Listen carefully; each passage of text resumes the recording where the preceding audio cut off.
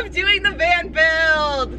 It is 10 a.m. We got some rest because we were exhausted from yesterday and we are heading out on day two of what we need to do today, which is going to be painting the back. Okay, no, first, but let's start from the beginning. We gotta, we gotta measure the back and figure out how much plywood we need for underneath the flooring and also how much insulation we're gonna need to insulate the van so it's not cold as F.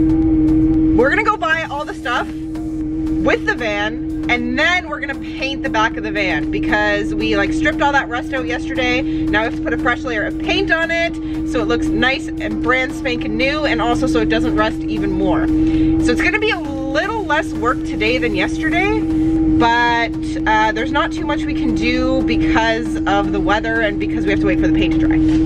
What she said. Andy's not functioning yet. No, I'm functioning. You just did it. Man, I'm just giving you a compliment. What she said. All right, let's get this big ass van on the road and get our day started. Let's go. Let's go.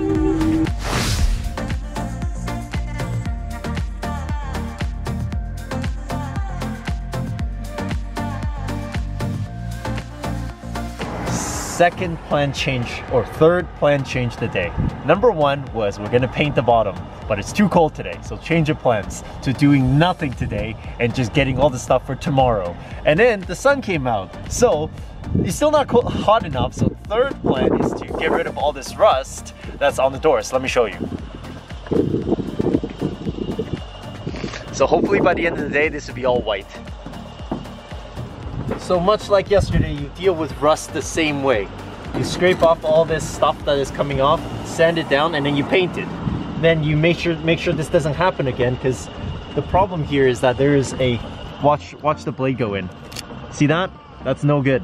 So you got to be able to fill that thing in. So we're just gonna put some protective stuff around this, and then be fixed for ever.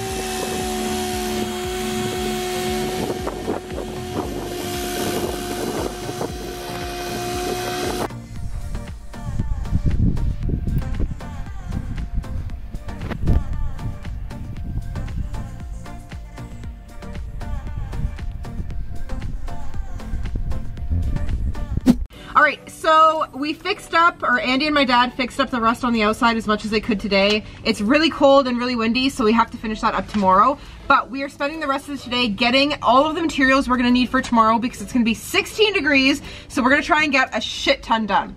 So today we are buying insulation for the entire van. We're buying wood for the walls and the ceilings. Um, so things like uh, 12 foot beams and 8 foot beams. And then we also need to buy Bondo, automotive primer, and uh, masking tape. And that's our list. And I hope we're not forgetting anything because I don't want to have to come out again tomorrow. but we are just here at Lowe's to get the stuff that we're going to put on the ceiling, which is going to be uh, a big MDF board that looks nice. And then we have to go over to Home Hardware to get everything else what we need. So let's go. So, getting ready for tomorrow, and part of our problem is that there is rust. And uh, it, there's some pinholes in there, so now we're trying to fi- figure out which thing of Bondo to get. This is pinholes, so I assume this one. But gonna, che- gonna check with the guru. We are just pulling out of my God. Home Hardware. It is legit the best home hardware store in Canada and in the world. I'm gonna come out, go out on a limb and say it. Uh, it's great. When you get stuff, you literally just go up to the desk and order it, and they'll sort you uh, sort you out, and you pull through their yard, and then they'll load everything for you. So, really great if you're trying to build anything.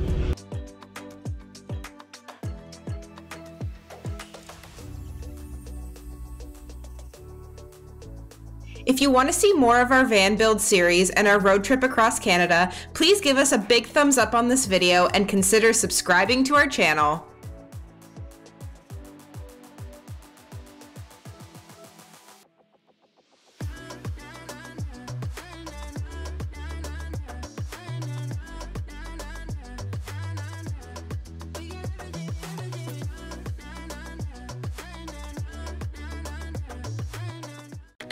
Good morning on day three of the build.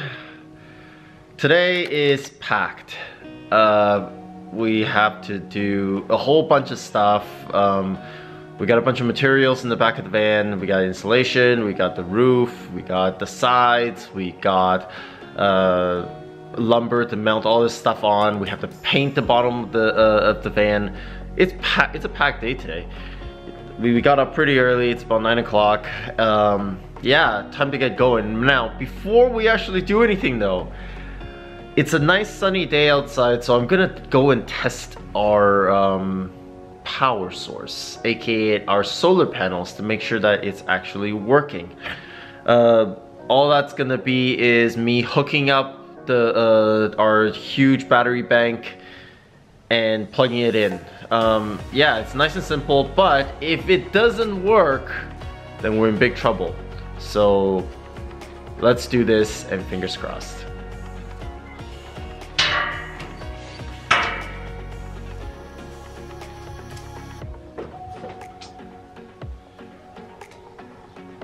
And here we are, boys and girls. Right now we have 36 watts with it in this morning sun. This is, uh, doesn't seem like much, but when you plug it into the wall, it's still only about 12 watts. So we're getting a good amount of power out of it. Good morning guys, day three of the van build. We have a huge list of things to do today. The weather is gorgeous, so it's perfect for us. Uh, we've already uh, jumped right in. We're starting to trace out the plywood that's gonna go on the floor. Um, and so while we do that, my dad is going to work on some of the wiring in the van because he's gonna deal with all the electrics for us. So come and see what we're up to.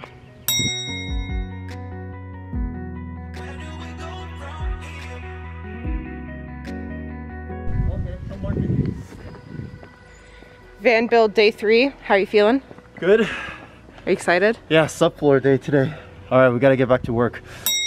If your cargo van came with a floor mat already installed that you planned to rip out, make sure to actually keep it once you tear it out. It is the perfect stencil for cutting your subfloor. Now, if it didn't come with one, don't fret because you can use cardboard to create a stencil of the shape of the van and then transfer that onto your plywood.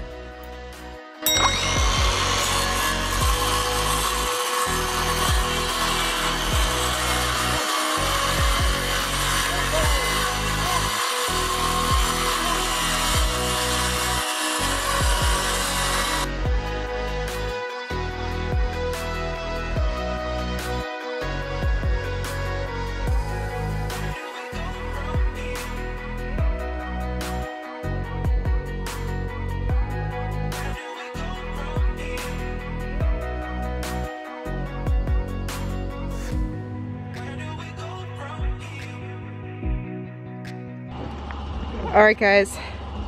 I did shop class back in grade school. Turns out I still know how to do some things. I mean, it's not too hard to use a saw, but we used a circular saw to cut our straight line. Then we used a jigsaw to cut our curved lines. And that's our first piece for the base. What's the current situation, Andy? The the pad that we used actually comes up a little bit, so we need to cut about an inch out of that side so everything will slide in. We need a little bit off of here. Let's. Last piece of the subfloor. Plus a roof discussion. Of truth. It's in. It's in. It's in. Okay, we got the subfloor done. Everything's good to go. Uh, we are gonna break for lunch soon, but while we're waiting for food to cook, we're gonna take all of these bars off. So these bars actually came in the van when we bought it. Um, we are still using them. They're gonna be really good base to get our um, insulation and sound deadener in, but we need to adjust them because they don't go all the way to the right length. So we're gonna take them off, move them down, and then fill in the missing gaps. So that's what I'm gonna do now.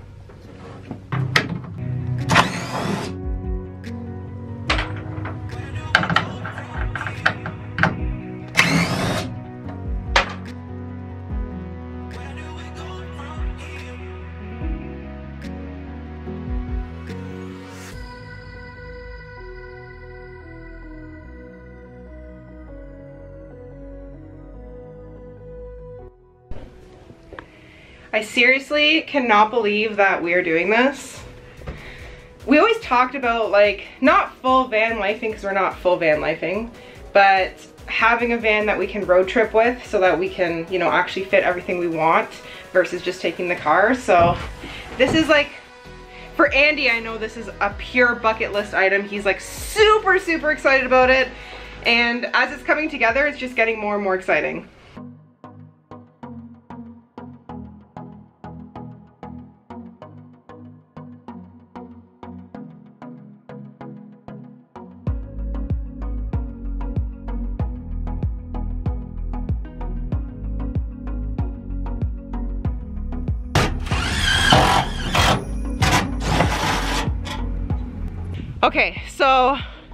We finally got the wood beams into one side of the van. It looks like this. Um, so this is so that we can, you know, hold the insulation in and so that we can also attach the wall to the side of the van. So the next step here is to do the insulation, which is in this big package. And we basically just have to line the walls with all of that. So we're gonna have at least one wall done today, if not both of them. And then we can go on to the next step.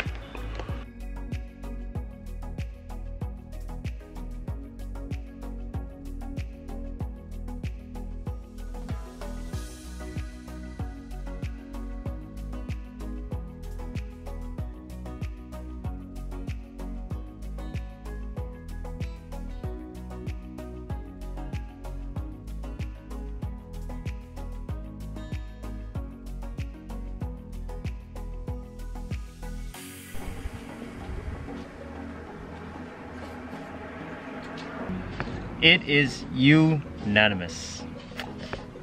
Laying insulation is the worst. My arms are so itchy right now. Fiberglass is the, the worst. worst.